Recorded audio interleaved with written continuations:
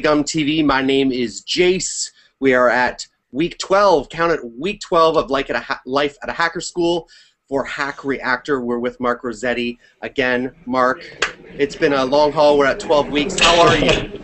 I'm doing great. This has been a blast. I mean, uh, you know, honestly, uh, among the 12 more memorable weeks in my life, for sure. Fantastic. Okay, Mark, we're gonna get right to it. I know we're on a we're on a tight schedule here. What did you learn about the hiring process that surprised you or may surprise the audience? For sure. I mean, I, I guess what's probably useful is just to hear what a lot of tech companies are doing for the hiring process, which is um, you know, very typical is you, you you start with an email, you know, introducing yourself, sending along a resume, maybe, maybe a resume. A lot of places uh, want a portfolio more than they want a, more than they want a resume. That might be surprising for people coming from the business world. Uh, definitely, what you've done is more important than where you've been. Um, and then you know, the first step is is a uh, is a phone call. Sometimes sometimes it's just a phone call to get a feel of you from more of a personal standpoint, and sometimes they go straight on to a technical phone call and asking you some fundamental questions about JavaScript or or, or you know technical questions just to get a sense of do you have the basic knowledge. Um, the follow up from that, if they're happy, is uh, often to bring you in and have a, uh, a face-to-face conversation. And those face-to-face conversations can be anywhere from, I'd say, uh, at a bare minimum two hours all the way up to a full day. Uh, a full day is not uncommon, and and that full day uh, could include, and this is where a lot of real variations come in. The first two steps are are, are pretty common, but when once you go in for the interview, companies vary widely in the way that they want to evaluate candidates, and and this amounts to it's very difficult. You'll never find an engineer that knows everything, and you'll never find an engineer that knows all of the tools for your office.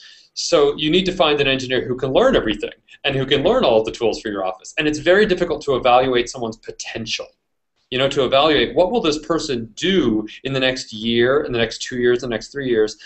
So companies have radically different approaches to that. Some of the more conventional approaches are asking algorithmic questions and um, asking, uh, you know, basically they, they amount to programming brain teasers uh, to see about a person's analytical abilities.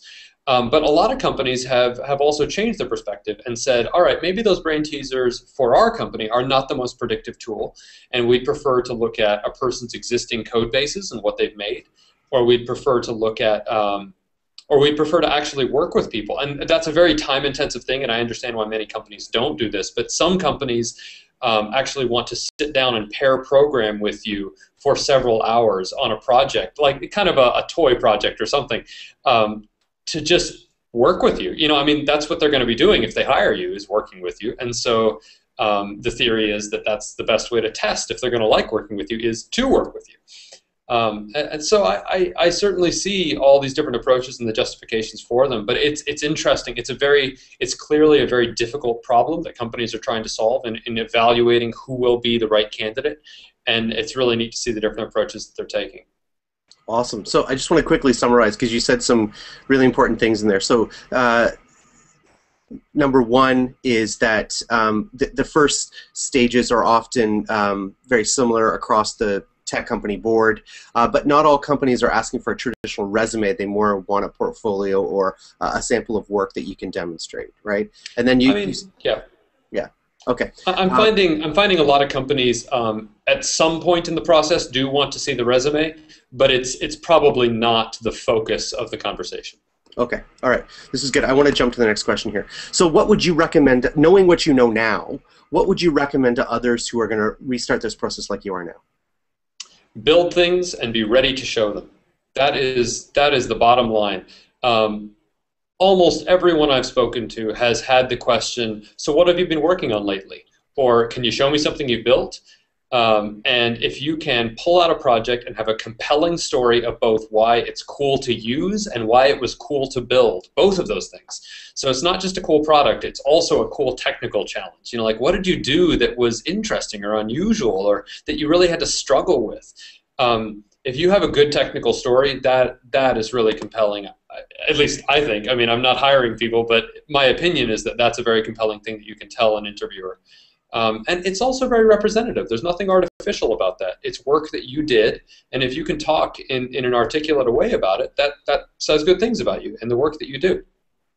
Okay, so Mark, you're going to blush a little bit, but I just have to say something here. Um, you, you are a program, you're a developer now, but you are extremely articulate, and you don't, um, but you don't pontificate. You're not flowery. You're not like I do that, right? I'm articulate, but I ramble on, and No, I get you're not so distracted. I, I am. I do that. I know I do. But the point is, is that you you automatically answered my next question because when you said, you know, they're looking for. Um, you want to build something that you, you can demonstrate. You, may, you said immediately what that means. Like, what are they really looking for in, in a succinct way? So I, I can just skip that question. Remember what he just said, guys, because that was that was fantastic. Okay, so um, as I just stroked your ego a little bit, where do you think you were the least prepared, or you know, I know it's kind of hard to say, but where would you think you were weakest? Where could where would you like to shore up for your next interviews? Um, you know, I don't think it's something as short term as next interview. I think it's a longer term thing, and it's just recognizing what you do and don't get out of a 12 week program. Um, what you definitely do get, and what I have gotten, is a lot of awesome hands on experience, building things, doing things, uh, getting used to reading documentation, learning new tools from scratch. That's awesome. Uh, what you don't learn is you don't learn uh, the ins and outs of computer science. I mean, we, we definitely we, we talk about that stuff a little bit, but uh, you know, there's a reason people go to four-year universities for that. And when you're in an interview, um, many interviews will use uh, algorithmic questions or uh, or advanced computer science questions as a way of measuring your um, your your mental agility. Um, and coming from a hacker school like Hack Reactor, those can be very challenging. Um, it- it's and we do some work preparing for those, but I, I, I know that I'm probably not as well prepared for those questions as a computer science as a computer science major. Um, so that's definitely that's definitely something that could be considered a weak point. On the other hand, a lot of the work that I'll actually be doing, um, at least initially in any role that I take, will probably not be heavy on algorithmic work. And we talked about this in some of the earlier interviews, um, week maybe two, three, four. Um, so it's not something that I'm concerned about greatly in the workplace, but it is something that I'm aware of in the hiring process and that I'm aware of um, a lot of companies evaluating for that may not be my strongest suit. All right. Last question. If you could go back before week one, knowing what you know now, what would you do differently? Um, I think so. I mean, partly for me, this decision to pursue programming happened pretty fast. It was over the course of just a couple of months that I re- that I, I just had kind of a life realization and, and totally switched directions. Um, so maybe maybe what I'm about to say is practical for my own case, but in general, I would say there is a lot more mileage that I think I could have gotten on my own before entering a program like this. Um, and I, I think the tools that are out there, they're still rocky. Tools like uh, like Codecademy and Coursera and Udacity and, and Code School, they're still they're not all that they can be. They're getting better, um, but they are getting better, and that's the point. And uh, and I do think maybe there was more mileage I could have gotten out of those before I ever walked in the door at Hack Reactor. Um, but that's fine. I mean, you know, maybe I'd be 10% further than I am now, um, which would be great. But uh, as it is, I'm really happy with how things turned out in any case. So I guess what I would say is, if you know, if you're out there and you're worrying about Hack Reactor or or, or applying, and you know, you're thinking, oh man, if I don't get this, I have nothing. Well, no, you don't have nothing. You have a lot of great tools out there, and take full advantage of them. And above all, don't just take classes, build things that was a mistake that I made. Um, I think was doing a lot of Codecademy because I did do a fair amount um, without actually, apart from Codecademy, going out and building projects. Um, and I don't actually think that Codecademy prepared me very well to go out and build projects. That was that was one of my one of my criticisms of, of their teaching approach.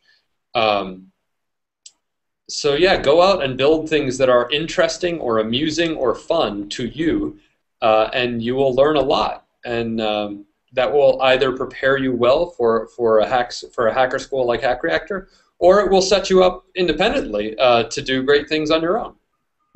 Or you come to the realization sooner rather than later that coding is not for you, which is That's also too. very true. That's really Because important. I, I have some friends who wasted four years and tens of thousands of dollars to find that very question out.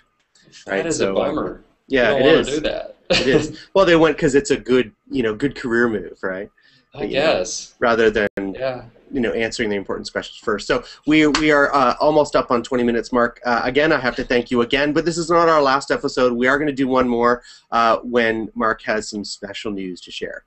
So Mark, thank you very much. We'll be in touch and, and we'll connect at a time that's convenient for you. Okay. Superb. All Thank right. you, well, I look forward to uh, look forward to our next time, and I look forward Yes. to have some great news to tell you. Have a great night. Bye bye. you too. Take care.